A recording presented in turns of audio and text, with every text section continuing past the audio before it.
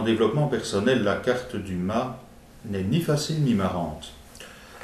Tout d'abord, on voit cette partie-ci de la carte qui évoque une blessure de couleur chair, une blessure dans la chair. Cette carte vous pose donc la question de qu'est-ce qu'il y a à guérir en vous-même, quelle est la mémoire blessée que vous portez en vous et qui est prête maintenant à se mettre en mouvement, à évoluer?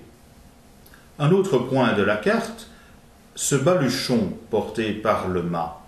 Ce baluchon est donc tout ce qu'on porte en soi qui vient de la gauche de la carte, qui vient donc du passé.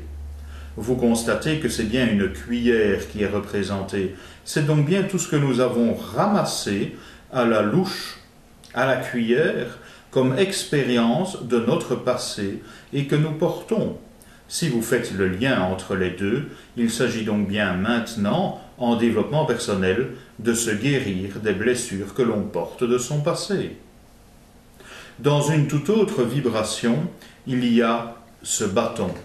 Le bâton qui est un symbole phallique. Le bâton représente donc un sexe masculin, sexe masculin qui ici est bien raide, en érection.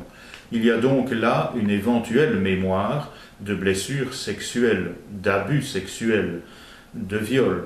C'est vraiment pas amusant d'évoquer ce genre de choses, mais je vous rappelle que le développement personnel avec le tarot ne fait pas dans la dentelle et ne fait que poser les questions qui nous posent problème et qui sont douloureuses par rapport à notre passé. La carte du mât vous dit que vous êtes prêt à vous mettre en mouvement par rapport à toutes ces blessures que vous portez, par rapport à ces mémoires du passé qu'il vous faut affronter maintenant, puisque le mât est la carte, la seule carte du tarot qui marche. Voilà ce que j'avais à vous dire sur la carte du mât.